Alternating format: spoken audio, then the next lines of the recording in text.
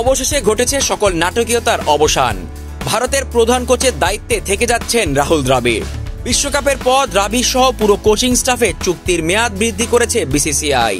যার ফলে সকল গুঞ্জনে পানি ঢেলে দিয়ে ভারতের প্রধান কোচের দায়িত্বটা আরও কিছুদিন চালিয়ে যাচ্ছেন দ্রাবিড়। বিশ্বকাপের পর থেকেই বাতাসে গুঞ্জন ভাসছিল। ভারতের প্রধান কোচের দায়িত্বে আর থাকছেন না রাহুল দ্রাবিড়।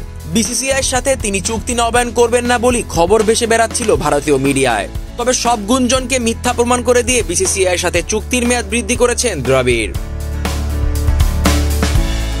দুই হাজার একুশ সালের নভেম্বরে ভারতের প্রধান কোচের দায়িত্ব নেন রাহুল দ্রাবিড়। তখনও বহু জল ঘোলা করে দায়িত্ব নিয়েছিলেন তিনি। তৎকালীন বোর্ড সভাপতি সৌরভ গাঙ্গুলির যেখানে বেশ বড় ভূমিকা ছিল।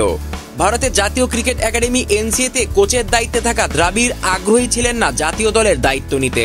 তবে শেষমেশ বহু অনুরোধের পর জাতীয় দলের কোচ হন দ্রাবিড়। দুই হাজার তেইশ ওয়ানডে বিশ্বকাপ পর্যন্ত দ্রাবিড়ের সাথে চুক্তি করেছিল বিসিসিআই।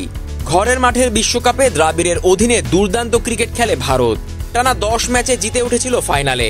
তবে ঘরের মাঠে লক্ষাধিক দর্শকদের সামনে ফাইনাল ম্যাচে অস্ট্রেলিয়ার কাছে হেরে বসে ভারত, যার ফলে সন্তুষ্ট থাকতে হয় রানার্স আপ হয়েই। তবে কোচ হিসেবে দ্রাবিড়ের প্রশংসা ঝরেছে অনেকের কণ্ঠেই।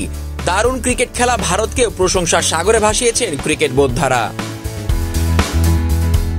দলের ভালো পারফরমেন্স এবং চলমান উন্নয়নমূলক প্রক্রিয়াকে ঠিকঠাকভাবে চালিয়ে দ্রাবিড়কে রেখে দেওয়ার জন্য আপ্রাণ চেষ্টা করে যায় বিসিসিআই।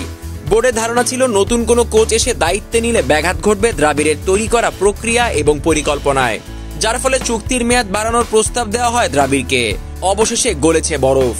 বোর্ডের প্রস্তাবে রাজি হয়ে চুক্তির মেয়াদ বৃদ্ধি করেছেন দ্রাবিড় এবং কোচিং স্টাফের বাকি সদস্যরাও।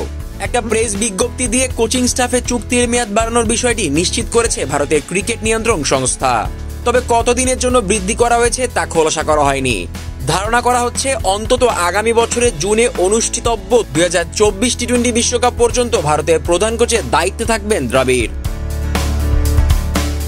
তাকে প্রধান কোচের দায়িত্বে রাখতে পেরে বেশ খুশি বিসিসিআই। দ্রাবিড় নিজেও জানিয়েছেন তার প্রক্রিয়া। দ্রাবিড় একটা বিবৃতিতে বলেছেন, ভারতের সাথে গত দুই বছর বেশ স্মরণীয় ছিল।